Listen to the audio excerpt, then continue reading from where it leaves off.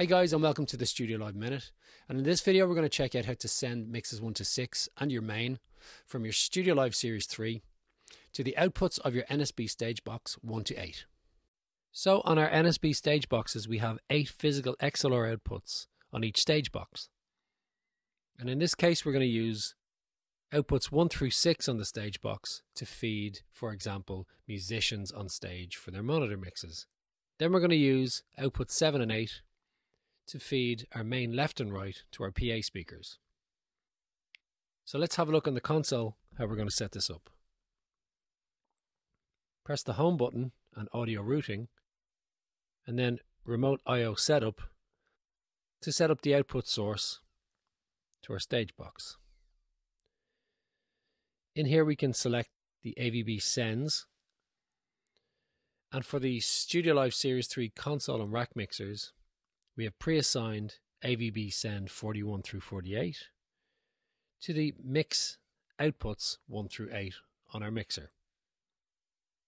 So if we select 41 through 48 and hit apply,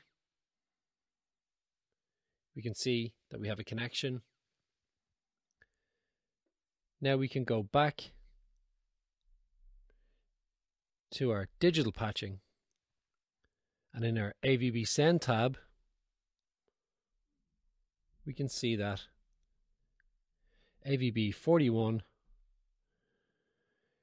through 48 is pre-assigned to mix 1 through 8.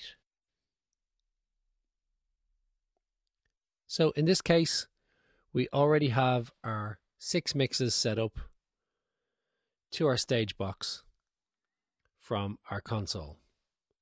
But we want to change our outputs on our NSB stage box 7 and 8 to become our main left right. So we know that AVB 47 and 48 are assigned to mix 7 and 8. So we can change this to become our main left. And then also our main right. So now we're set up with mix 1 through 6 coming from output 1 through 6 on our stage box and our main left right coming out through 7 and 8 on our stage box. Okay, thanks for joining us on this video how to route the outputs to your NSB stage box. And for more great content, please join us again on the StudioLive Minute.